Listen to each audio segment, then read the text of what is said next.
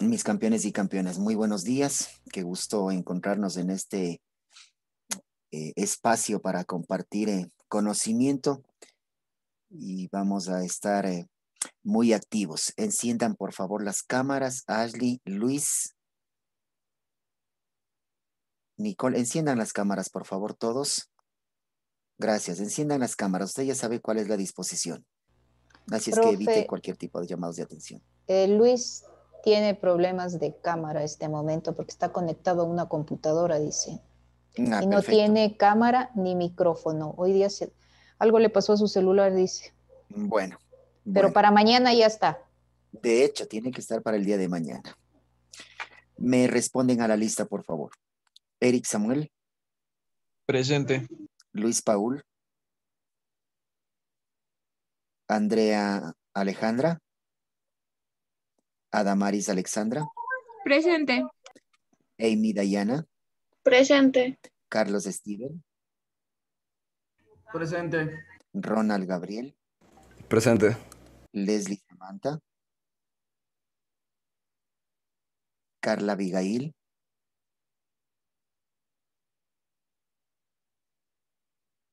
Carlita sí está. Diana Nicole. Diana Presente. Nicole. Doménica Danae. Presente. Daniela Carolina. Presente. Walter Sebastián. Presente. Presente, ¿quién es presente? Bueno, Carlita, ya, está es. ya está registrada su asistencia, Carla. Nayerly Michelle. Presente. Diego Marcelo. Presente. Francis Daniela. Presente. Bianca Camila. Presente. Lisbeth Alejandra.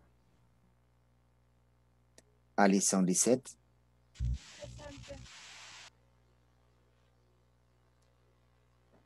Sí está Alison, profe. Andrés Sebastián. Presente. Keira Naomi. Sí está, pero tiene problemas de audio, profe. Está con Ashley, cámara. Carolina. Ashley Carolina. Presente. Frank Yaciel. Presente. Ángel Ismael. Jennifer Alexandra. Presente, Lice. Alanis Brittany. Presente, Lice. Damaris Naomi. Presente. Michael Huitrón. Michael. Presente, profe. Martín Beltrán. Presente. Noemí y Lisette Suárez. Bueno, vamos a iniciar. En primera instancia, por favor, quiero coordinar con aquellos estudiantes que tienen pendientes las evaluaciones. Voy a coordinar el día de ayer. eh, no les había activado eh, la evaluación de lengua y literatura a los estudiantes que tenían pendientes. Lo voy a hacer el día de hoy, por favor. En este caso sería con eh, Amy, sería con eh, Andrés Sebastián y con, em, con Dayana Nicole. Los tres que tienen pendientes lengua y literatura. Por favor, les activo sin falta el día de hoy a la una de la tarde. Su evaluación pendiente, por favor, el día de hoy a la una de la tarde le, le activo para que pueda rendir. A ver, registremos. 13 horas, lengua y literatura, la activación de la evaluación sumativa a tercero A. Y de igual manera, la evaluación pendiente de investigación, de igual manera que tendría Amy, Frank, Ashley y que no se encuentra Lisbeth Kimis. La de investigación les activo, por favor, a las 2 de la tarde. Investigación les activo hoy a las 2 de la tarde. Investigación.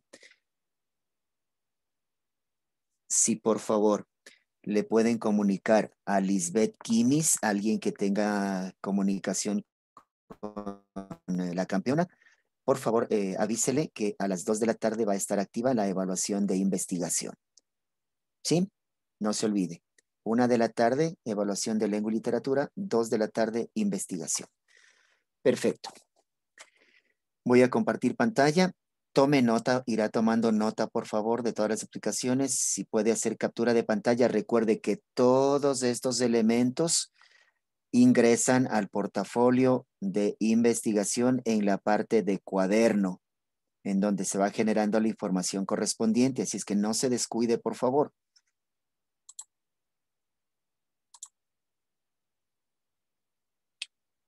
deje el espacio para la carátula de, la tercera unidad. Le comparto brevemente los datos, la información de la carátula. Le sugiero hacer captura de pantalla para que tenga esa información y pueda usted diseñar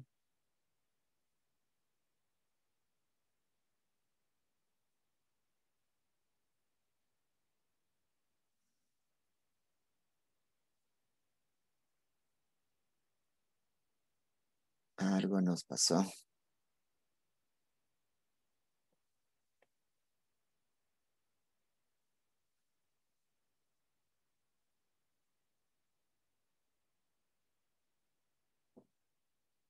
¿Me escuchan, por favor? ¿Sí? ¿Me confirman, por favor? Sí, profe. Ok, entonces les decía, haga una captura de pantalla de los datos que corresponden a la unidad número 3 esta información le va a servir para que usted adelante en las demás asignaturas la carátula correspondiente. ¿Sí? ¿Ya? ¿Tienen todos la información? Perfecto, dejo de compartir pantalla y ahora sí vamos con el asunto de la temática respectiva. Insisto, dejará el espacio correspondiente para la carátula. Perfecto.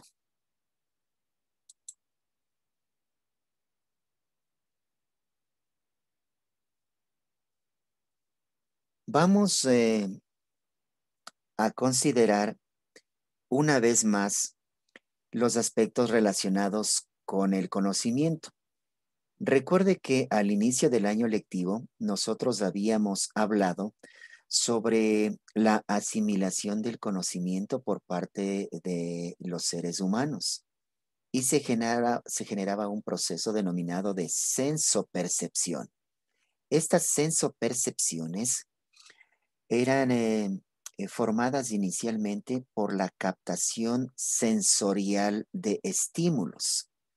El frío, el calor, el observar eh, un nevado, el leer un libro, el observar un video relacionado con el proceso de la fotosíntesis, el percibir un, un olor, un aroma, el degustar una comida, es decir, todos los estímulos que son percibidos a través de los sentidos viajan a través de una vía que se denomina sensitiva, formada por los nervios sensitivos, llegan a la respectiva parte del cerebro, en el cerebro se procesa esa información y automáticamente es percibida. Y cuando esto sucede, se forman las sensopercepciones se decodifica la información y por consiguiente el conocimiento está constituido. Ahora, este conocimiento de igual manera presenta fenómenos que son muy característicos y propios de los seres humanos.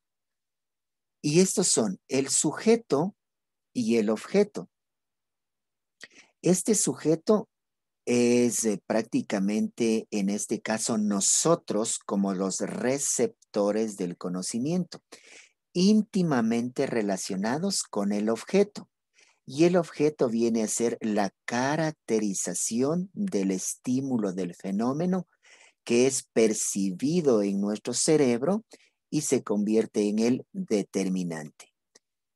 Tomará apuntes o si no captura de pantalla para que elabore los organizadores que ya voy a crear los espacios en Idukai para que usted pueda publicar los, eh, sus tareas con los organizadores gráficos correspondientes. Entonces, sujeto determinado y el objeto determinante.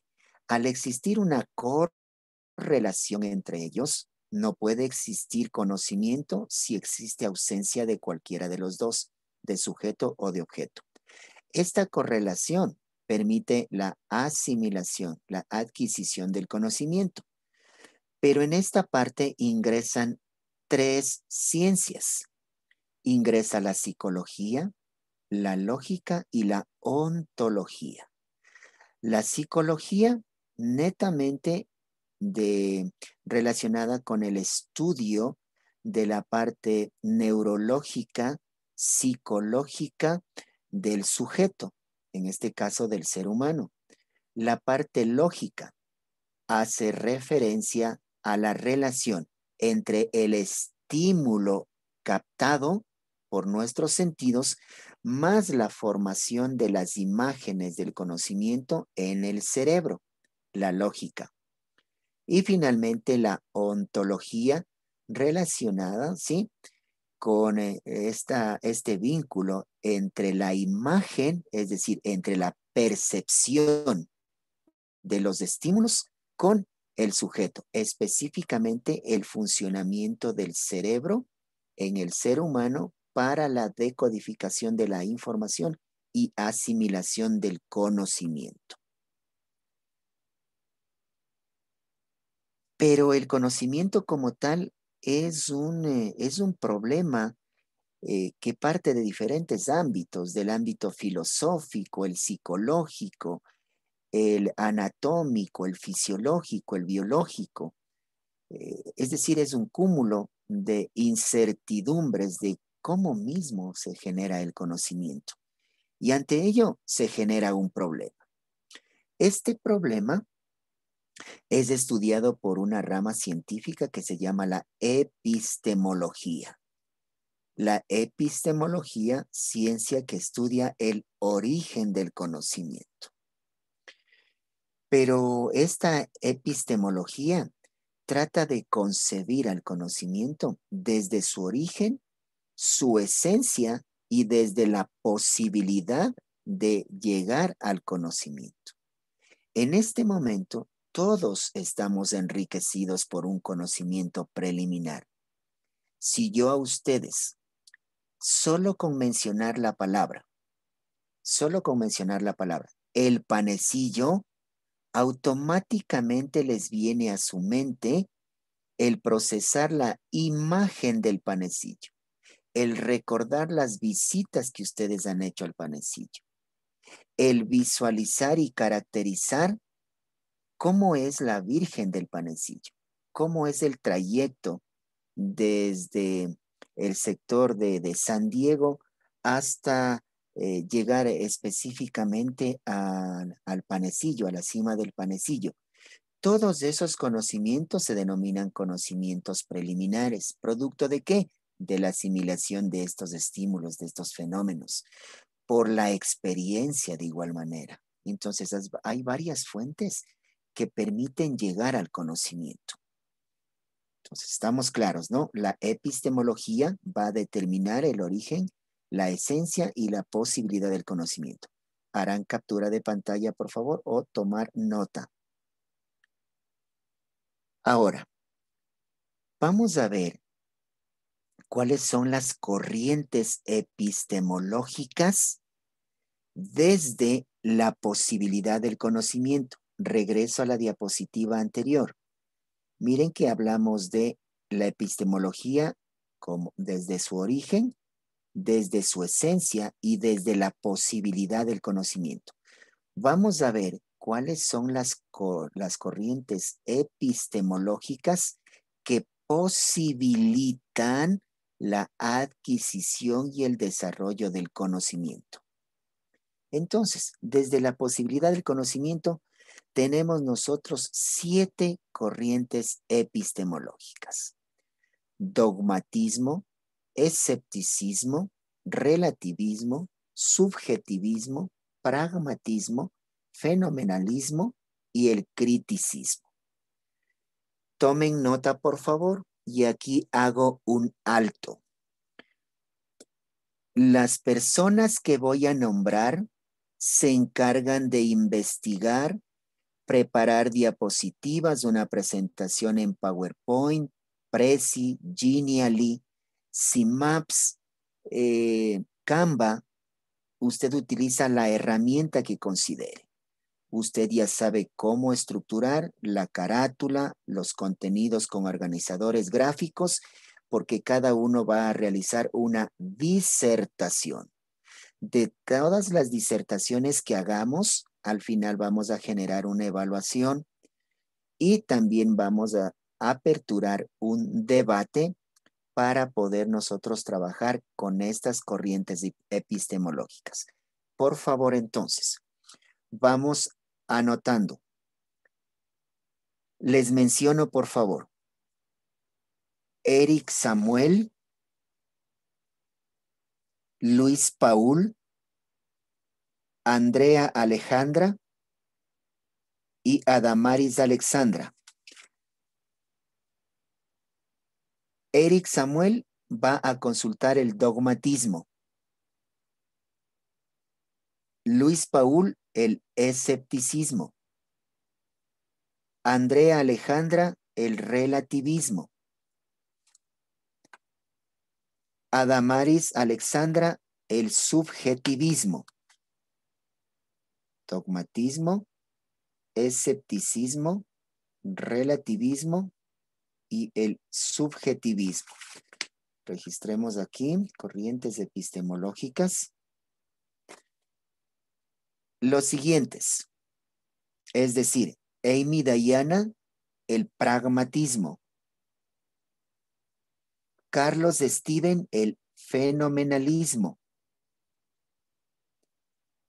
Y Ronald Gabriel, el criticismo. Ronald Gabriel, el criticismo. El primer grupo de corrientes epistemológicas vinculadas a la posibilidad del conocimiento. También la epistemología desde el origen del conocimiento. Miren que aquí cambiamos. Puede ser que se repitan algunas corrientes epistemológicas, pero ojo, el punto para conceptualizar va a cambiar.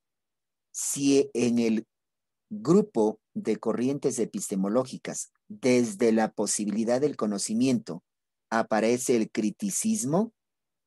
El criticismo también aparece acá, pero lo que cambia es desde la concepción del origen del conocimiento. No se vayan a confundir. Entonces, vamos con, eh, teníamos Carlos Steven, que estaba el fenomenalismo, Ronald Gabriel, el criticismo, desde el origen del conocimiento. Leslie Samantha, el racionalismo, Carla Abigail, el empirismo, Diana Nicole, el criticismo.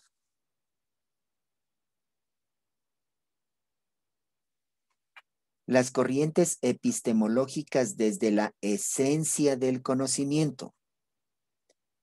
Doménica Danae, el realismo. Daniela Carolina, idealismo. Walter Sebastián, fenomenalismo. Nayerli Michel, el objetivismo. Diego Marcelo, el subjetivismo. Bien, regreso. Hasta ahí he mencionado al primer equipo de expositores, de panelistas que van a trabajar en sus explicaciones correspondientes. Por favor, le invito a que haga una investigación muy eh, minuciosa, muy detallada, muy concreta y genere organizadores gráficos que sirvan de guía para sus compañeros y compañeras con respecto a estos temas que vamos a trabajar. Las fechas de disertación son para la próxima eh, clase. La próxima clase, todos los que mencioné, trabajamos. Es decir, tendremos 2, 4, 6, 8, 10, 12, 14, 15 disertadores.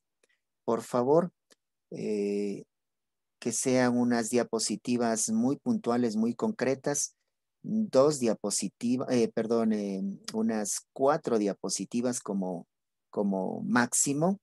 El tiempo de disertación estará establecido un mínimo de cinco minutos, máximo siete minutos.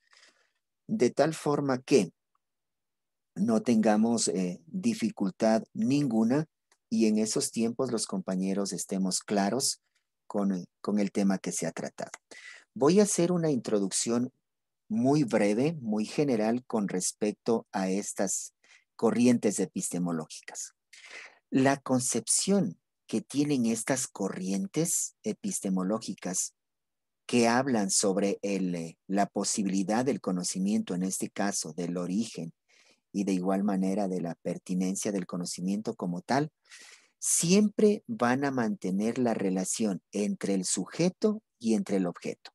Ninguna de ellas va a desvincular, porque, insisto, no puede existir eh, conocimiento si es que una de las partes, uno de los elementos, llámese sujeto o llámese objeto, no están presentes. Entonces, eh, estas corrientes eh, epistemológicas visualizan el dogmatismo. Ustedes saben que el dogmatismo es una parte muy subjetiva, ¿sí? Un dogma, una creencia, una posibilidad, algo muy subjetivo. El escepticismo, algo que de pronto está ahí presente, pero que ha generado mucha incertidumbre hasta cierto punto con, con un grado de, de nerviosismo, de tensión, de miedo, algo que es poco creíble, poco real. El relativismo, saber que el conocimiento puede ser relativo dependiendo de las circunstancias en las que se genere. El subjetivismo, esto ya depende mucho de las personas que manejan el conocimiento, porque para unos puede ser real, para otros puede ser simplemente una idea, algo muy subjetivo. El pragmatismo considera que el conocimiento es producto de la práctica. Hablemos como ejemplo las personas que ejercen eh, ese oficio de, ser fregadores, de que ayudan a, calmar el dolor cuando ha existido alguna, alguna caída, algún tropezón y se acude donde estas personas, los famosos fregadores, y ellos producto de la experiencia han adquirido ese conocimiento, el pragmatismo. Fenomenalismo, que de pronto considera al conocimiento como parte vinculante de todos los fenómenos naturales que se producen en el planeta Tierra. El criticismo, que el conocimiento siempre está eh, propenso a, críticas, invita siempre a la reflexión, al razonamiento. Aquí es donde la razón tiene que que imponerse sobre todas las cosas. Desde el origen del conocimiento, el racionalismo nuevamente hace hincapié al uso de la razón, es decir, a la parte muy lógica, al razonamiento.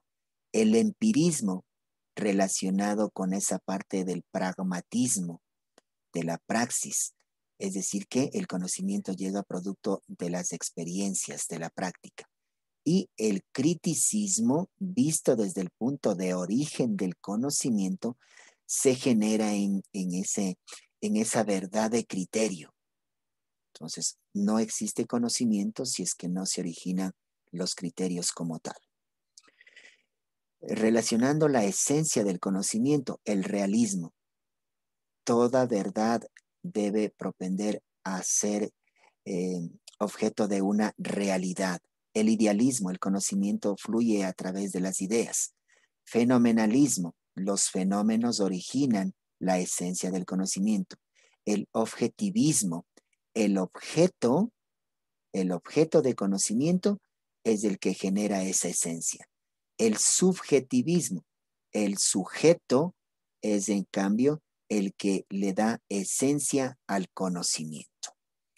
Miren, entonces aquí nosotros hemos hecho una generalización con respecto a eh, la esencia, al origen y a la productividad del conocimiento como, como tal.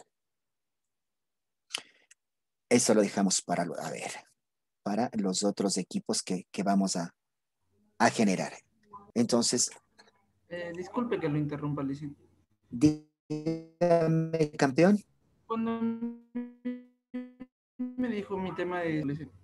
A ver, a usted le corresponde, a ver, Carlos, a usted le corresponde el fenomenalismo, fenomenalismo, pero desde la posibilidad del conocimiento. ¿Estamos de, de acuerdo, Carlos? Ya le hice muchas gracias. Ok, muy bien. Dejo de compartir pantalla. Estos temas, como digo, hasta la actualidad siguen siendo bastante complejos, porque la ciencia como tal y la epistemología encargada del estudio del origen del conocimiento ha invitado a otras ciencias, ha invitado a otros especialistas en la rama, pero hasta el momento no existe una, una objetividad una veracidad, es decir, perfecto, el origen del conocimiento es este y de hoy en más lo vamos a multiplicar de esta manera. Por eso es que la filosofía también ayuda a la epistemología para tratar de descifrar cómo es que se origina en verdad el conocimiento. Ha sido invitada también la matemática, la física, la astronomía, la biología, la química, es decir, todas las ciencias han sido invitadas para que aporten desde su campo correspondiente para determinar el origen del conocimiento. Lo que sí está claro desde el campo de vista neurológico, fisiológico, biológico, anatómico y psicológico es que el medio, los estímulos, los fenómenos que se suceden en el planeta Tierra son una fuente que origina el conocimiento. Nosotros interpretamos que debemos utilizar una chompa, un abrigo bastante eh, fuerte, consistente, doble, eh, duradero, cuando sentimos que está lloviendo fuerte, cuando sentimos frío. Miren, esos estímulos frío nos llevan a deducir inmediatamente el tipo de prenda de vestir que debemos usar. Si nosotros hemos planificado un viaje a la playa, a, disfrutar de vacaciones, automáticamente el conocimiento, producto de la experiencia, producto de, todo el conocimiento que está archivado en nuestro chip neuronal, automáticamente empezaremos a guardar prendas de vestir adecuadas para el clima cálido para la costa, para la playa. Sería inaudito, inaudito que se desequilibre el conocimiento y llevemos abrigo, llevemos una chompa rompevientos si vamos a ir a la playa. Sería discordante el proceso. Entonces, lo que sí está claro es que el conocimiento se lo adquiere a través de este proceso de, eh, de las dos vías, la vía sensitiva que a través de los nervios se captan los estímulos, viajan hasta el cerebro, en el cerebro se procesan esos estímulos, se convierten en las sensaciones en percepciones, se unen los dos, las sensopercepciones, y se genera el conocimiento. Eso sí estamos claros. Perfecto. ¿Alguna inquietud, alguna duda de parte de ustedes? ¿No? Entonces voy a generar la tarea en Idukai, los organizadores gráficos con respecto a, a las corrientes epistemológicas. Todos, por favor, de igual manera van a consultar también de manera preliminar, antes de las disertaciones de los compañeros, todos van a consultar, por favor, ¿sí? El, em, las corrientes epistemológicas, el problema del conocimiento, ¿sí? En sí, el tema es el problema del conocimiento. Entonces voy a generar en Irukai para ustedes, los organizadores gráficos, en relación al problema del conocimiento. Eso usted va a investigar. El problema del conocimiento. Perfecto. De igual manera, eh, a, este, a estos organizadores gráficos le eh, ingresan también, por favor, la carátula de la unidad número 3. Estos organizadores y la carátula le suben al drive del portafolio de investigación en la subcarpeta que dice eh, cuaderno y en la subcarpeta que dice actividades individuales, tareas. En esas dos subcarpetas suben, por favor, eh, la, la tarea correspondiente. ¿Estamos de acuerdo? Preguntas, mis campeones, campeonas. ¿Estamos claros? Sí, entonces eh, para los eh, campeones y campeonas que ya están determinados los temas, ya sabe usted cómo hacerlo, no debo hacer hincapié en, cómo usted debe realizar su disertación, su trabajo correspondiente para la, la próxima semana. ¿Perfecto? Sí, muy bien. Con esto hemos terminado nuestra clase. Éxitos, un abrazo fuerte. Muchísimas gracias, eh, Jimenita, por la por tu asistencia. Hemos terminado Listo, profe. clase. Gracias. Hasta luego, bye. Un abrazo. Cuídense mucho. Bye. Éxitos. Cuídense. Chao, campeones.